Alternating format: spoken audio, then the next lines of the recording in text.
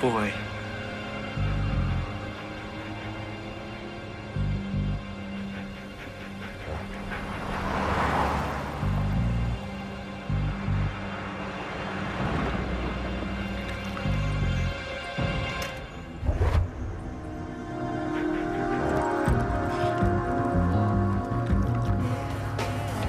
You know what I'm talking about?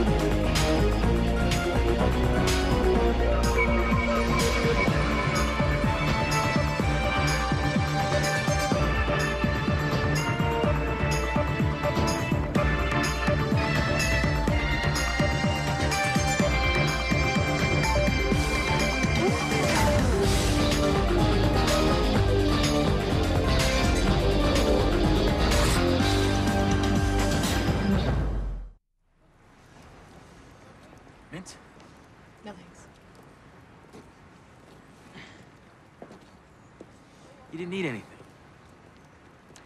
You know, I don't think I've been out for dinner this early since the last time I went out with you.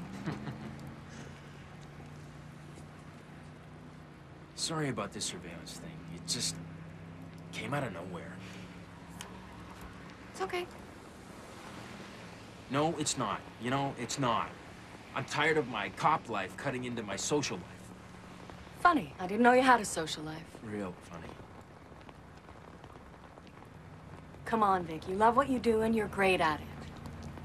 And you just wouldn't be you if you didn't have a crime scene to investigate. Why do you put up with me, huh? I don't. That's why we haven't been out in six months. And I want to change that. All right, I want to change that starting by not being a cop on call 24 hours a day.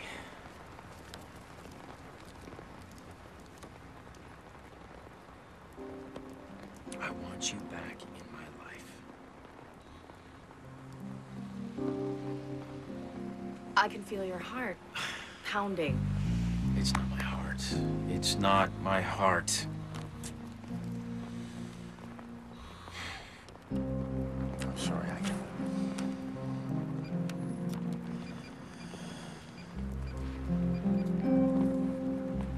This is Bruno.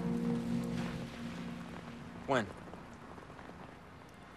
All right, where? Have you called the ME yet? All right, look, uh, close off the intersection and I'll be there as soon as I can,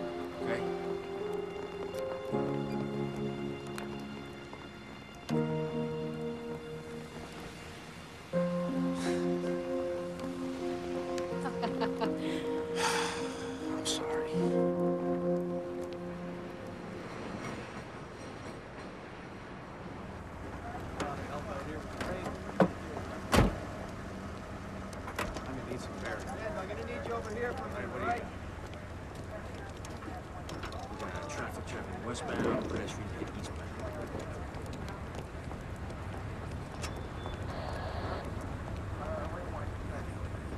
You let him drive? I asked you to come and get me. Why isn't Megan there yet? All right, all right. It's done. You drew him a map. Let's hope that helps with his driving. Nothing. Hold on, I think Vic might be ready to... Never mind. See you when I see you. Why would a blind guy try and cross an intersection like this by himself? Suicide? No, we're still looking for another witness. That's our best bet right there. The traffic cameras? Yeah. I want every image these things captured today. Those things are only triggered by a north or a southbound car running a red light. Yeah, so? Well, you've got a westbound hit and run driver. Even if that camera was triggered, all you're gonna get is a blur. Well, right about now, blur sounds pretty good to me. Excuse me. Detective Bruno. Hey, Vic. I didn't want you to worry what happened to me. What's he doing here? He's giving me a ride home. Look, Mel, I'll just be a few minutes, all right? Vic, we've been here before. We know this is gonna take more than a few minutes.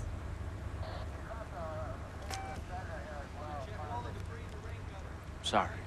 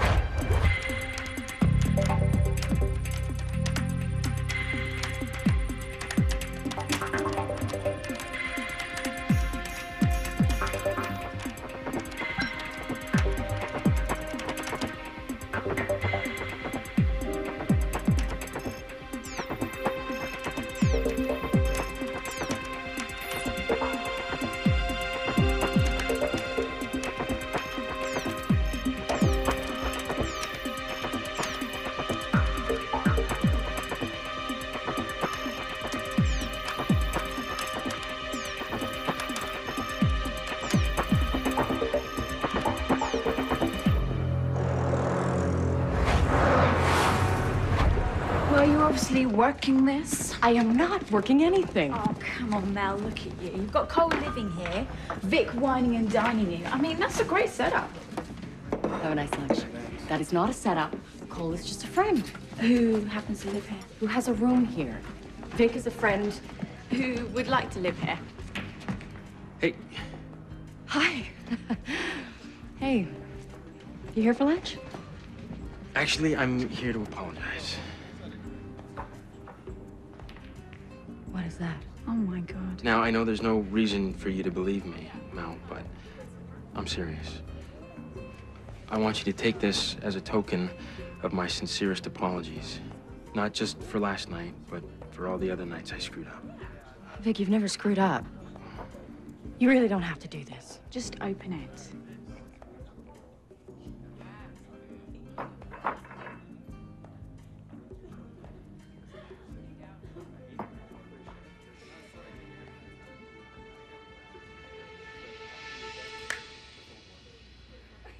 A bullet. But not just any bullet, Mel. It's a 38 caliber slug, dug from the wall of the garage of the St. Valentine's Day massacre. Get out of here. Yeah. Get out of here. I bought it online. Um, and I, I got a certificate of authenticity. Like, I don't know what to say. Say you'll have dinner with me. Tomorrow night, 9 o'clock, Les Chardons. Uh, no, no phones, no pagers. I promise. I'm impressed. All right, well, I gotta go. Um, so tomorrow night, 9 o'clock, Les Chardons. Nine o'clock. Yeah.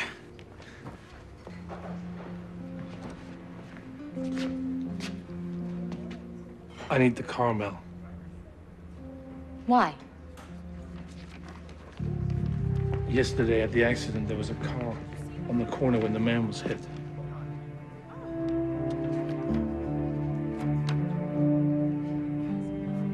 I'm afraid to even ask how you got this one. From the police computer system. You broke into the police computer system? Yes, Mel. You say yes, Mel, like you can just do these things. I can just do these things. I know you can do these things, but you're not allowed to do these things. You do know that you're not allowed to do these things. Can I borrow the car, please, Mel? Just remember to forget everything Nestov taught you about driving, okay? Yes, Mel. And remember everything I taught you about driving, okay? Yes, Mel. Where are you going? The car's registered to William Carter.